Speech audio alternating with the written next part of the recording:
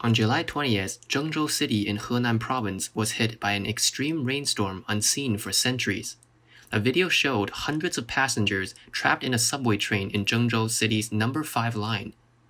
The water inside the train was up to their chests and people could hardly breathe.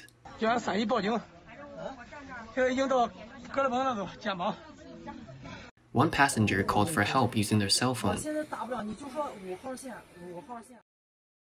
On the same day, a 20 meter breach in the Yihetan Dam in Yichuan County, Luoyang City, also in Henan Province, caused serious damage to the riverbank and the dam could collapse at any time.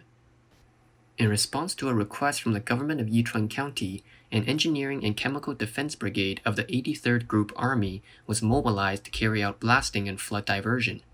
Rescue efforts are still ongoing.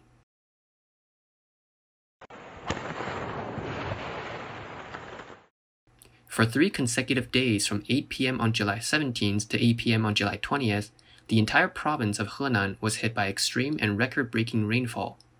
The three day continuous rainfall amounted to 617.1 millimeters. Single day rainfall from 8 p.m. on the 19th to 8 p.m. on the 20th reached 552.5 millimeters. The one hour rainfall in Zhengzhou City reached 201.9 millimeters from 4 p.m. to 5 p.m. on July 20th. The Zhengzhou Meteorological Station said the perennial average annual rainfall of the city is 640.8 millimeters, which means the rainfall in the three days is almost the total annual amount of the previous year. The station also said, from a climatic point of view, the hourly and daily precipitation along with recurrence period were fitted on a distribution curve and showed the scale of the rainfall is once in a thousand years. According to official data, the rainfall in the Henan region over the past few days has caused more than 140,000 people, 17 counties, and more than 9,200 hectares of agricultural land to be affected.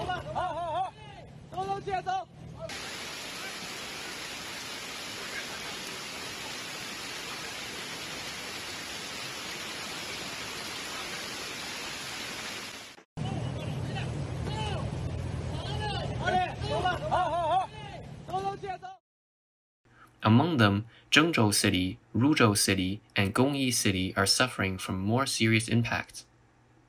The heavy rain caused almost all the rivers in Henan province to rise. 32 large and medium sized reservoirs are now over the flood level, and the situation is very worrying. According to the official Weixin account of Zhengzhou Municipal Party Committee, the Flood and Drought Control and Relief Command Center of Zhengzhou City decided to raise the flood control emergency response level at 5 p.m. on July 20th. The rainstorm caused the Zhengzhou subway to shut down all lines and stations. Meanwhile, Zhengzhou electric buses were also shut down, and Zhengzhou Airport canceled or delayed more than 200 flights. A number of highway sections throughout the city have banned all vehicles from passing.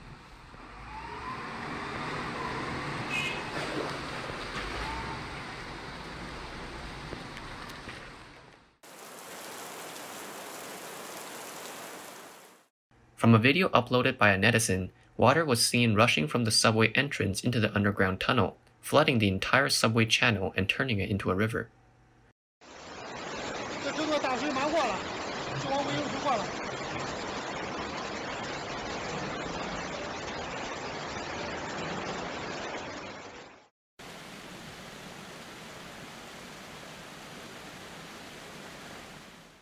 Many people could not escape and were trapped in the subway trains. Passengers are seen anxiously using their cell phone to send messages calling for help, while some of the female passengers were crying out in fear, saying that this may be the last message they can send.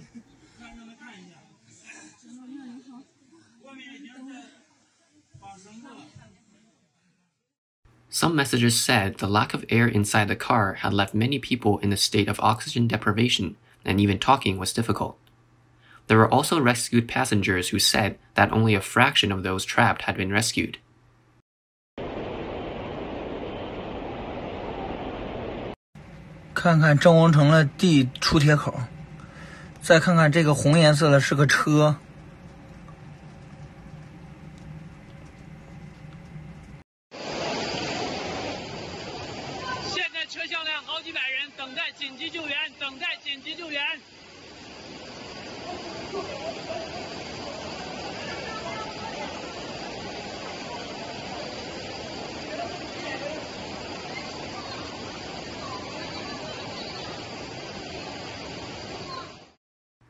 Additionally, there were unconfirmed reports later that night saying that hypoxia and hypothermia have resulted in further casualties in trapped areas. In the early hours of the 21st, the city released an online message saying at 6:10 p.m. on the 20th, the entire subway network was stopped and forces were mobilized to evacuate the crowd. While a total of more than 500 people were evacuated, 12 people died after ineffective resuscitation, and 5 people were injured and have been sent to the hospital. Moreover, many neighborhoods in the city suffered from flooding up to the second floor, while in some areas the flood even reached the third floor.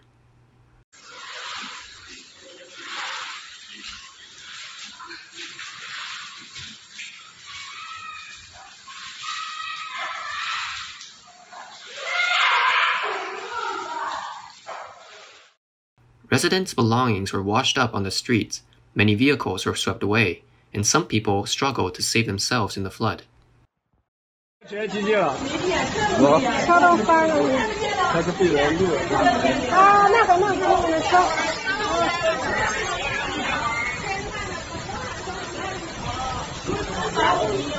战地记者来了，你看这车。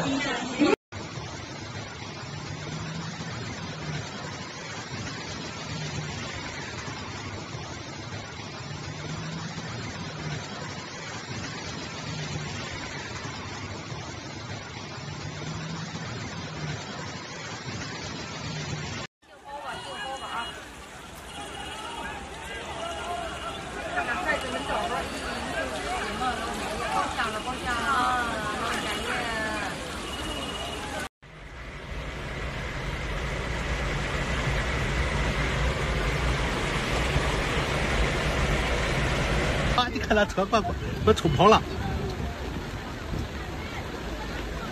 车都冲跑了，我知道姐轿车都都没能顶那个边上了。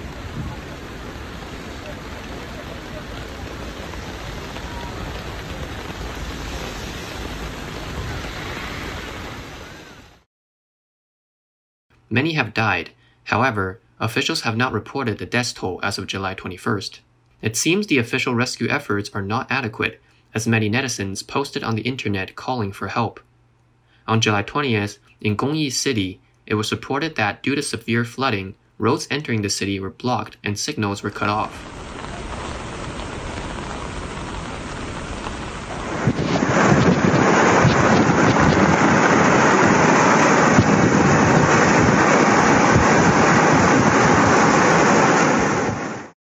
Damage caused by this flood surprised a lot of people because Zhengzhou City has just invested 8.25 billion US dollars in the past 5 years to combat the city's internal flooding problems and improve the sewage system.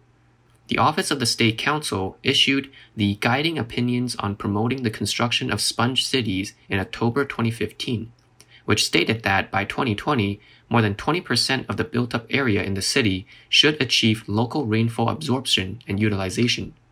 Zhengzhou was selected as a provincial pilot site for the aforementioned campaign in 2016.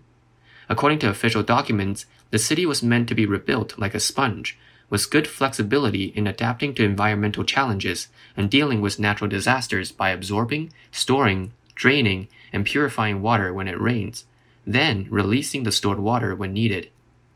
Zhengzhou has invested a lot of resources in the construction of the sponge city, According to Zhengzhou Evening News on May 29th, by 2020, Zhengzhou has completed 5,162 kilometers of drainage network and has a 50% utilization rate of recycled water.